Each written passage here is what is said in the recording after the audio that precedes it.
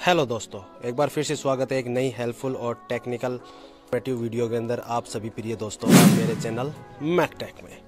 देखो दोस्तों, मैंने मेरे चैनल पे वीडियो अपलोड की थी कि भाई गाड़ी की सर्विस करवाते वक्त अपने को किस किस चीज़ का ध्यान रखना चाहिए और क्या चीज़ ज़रूरी है सर्विस के अंदर, वो सब मैंने अपलोड कर दी मेरी चैनल पे, आप विज़िट करके देख सकते हैं। और आज की इस वीडियो के अंदर आपने थंबनेल में देख लिया होगी बाइक की सर्विस करवाते वक्त अपने को किस चीज़ का ध्यान में रखना चाहिए और किस चीज़ के बारे में हमें पता होना चाहिए बाइक की सर्विस करवाते वक्त। ठीक है दोस्तों?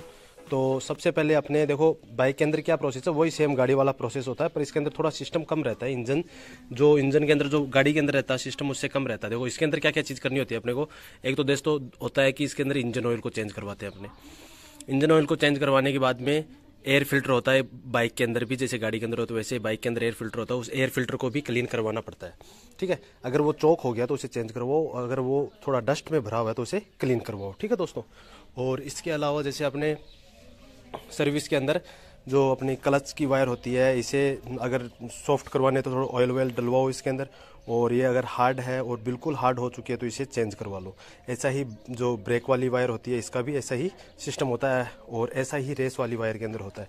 अगर ये हार्ड हो चुके हैं तो इसे आप ऑयल वगैरह डलवा के थोड़ा सॉफ्ट करवा सकते हैं, और अगर ये फिर भी नहीं हो रही है तो आप इसे रिप्लेस कराओ, ये अस्सी या नब्बे रुपये की पड़ती है, ठीक है? और सर्विस के अंदर अपने को क्या ध्यान में रखना है कि अगले ब्रेक को खोल के और जो पीछे वाले ब्रेक है, इन्हें खोलकर बाकायदा पूरी तरह से साफ़ करें। ब्रेक को थोड़ा रेगमाल के द्वारा घिसवाएँ, जिससे उसका जो हार्डनेस है, वो वापस से आ जाएगा। जो सॉफ्टनेस है, वो घिस के उतर जाता है। ठीक है? तो ब्रेकों को चेक करवाएँ, आगे पीछे के। और चेन को टाइट करवाएँ। चेन लूज रहने पर क्या होगा, वो थोड़ा थोड़ा थोड़ा टाइम बाद में वो घिस के ख़राब हो जाती है चेन। तो चेन को भी टाइट करवाएँ।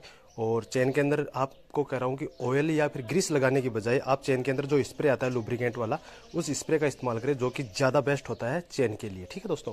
और इसके अलावा अगर कोई बाइक के अंदर कोई सील वगैरह कटी हुई है तो आप उससे मैकेनिक के द्वारा उसे नट को टाइट करवा लीजिए। सील के बारे में परामर्श, विचार करें कि भाई ये किस कारण से हो रखा है, ठीक है? और उसका सोल्यूशन भी करवाएँ, क्योंकि ये सील लीक होने से इंजन ऑयल का रिसाव बाहर होता है और इंजन भी डस्ट से भरा रहता है और बाइक के अंदर इंजन ऑयल भी कम हो जाता है। तो ये सब चीज़ों का ध्यान रखें। और आप जैसे ही बाइक की सर्विस तो देखो वैसे करवाने के लिए तो तीन हज़ार या दो हज़ार किलोमीटर पे होती है। और इंजन ऑयल अच्छा डलवाना चाहिए सिंथेटिक ऑयल का यूज़ करना चाहिए बाइक के अंदर, क्योंकि एक लीटर ऑयल डलता है और वो भी आप डुप्लीकेट डलवाओगे तो वो अच्छा नहीं रहेगा इंजन के अंदर। तो आप हमेशा सिंथेटिक या बढ़िया कंपनी का ऑयल ही यूज़ किया करो।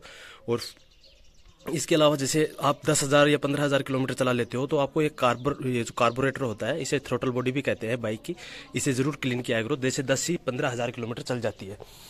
और दोस्तों, इसके अलावा जैसे एक ये जो ऑयल गेज होता है, जिसे ऑयल अपने चेक करते हैं बाइक के अंदर ही तो ये रिंग कट जाती है यहाँ से तो आप इसे रिंग भी चेंज करवा ही लीजिए, जैसे ही आप सर्विस कराते हैं। और ये जैसे सील वगैरह कट जाती है तो इससे मैकेनिक के बारे में मैकेनिक से बात करके, भाई ये सील क्यों कटी है, इसका इलाज क्या है, वो इलाज करवाया करो आप, ठीक है दोस्तों? और इसके अलावा जैसे मैंने थ्रोटल बॉडी को बताया था कि दस पंद्रह हज़ार किलोमीटर चलने के बाद थ्रोटल बॉडी को क्लीन करवाना पड़ता है, वैसे ही दस या, दस हज़ार या बारह हज़ार किलोमीटर चलने के बाद में स्पार्क प्लग को भी चेंज करवा लीजिए करो, जो कि अच्छा रहेगा।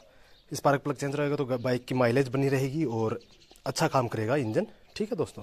तो ये नॉर्मल सी बात होती है बाइक के अंदर। और इसके अलावा बैटरी वगैरह में कोई पानी वानी नहीं डलता। बैटरी जितनी चलती है वैसे चलने दो। और जिस ख़राब होती फिर आप इसे रिप्लेस करवा लो। ठीक है दोस्तों? और ये थी गाड़ी के अंदर, जो बाइक के अंदर सर्विस का ध्यान रखने का।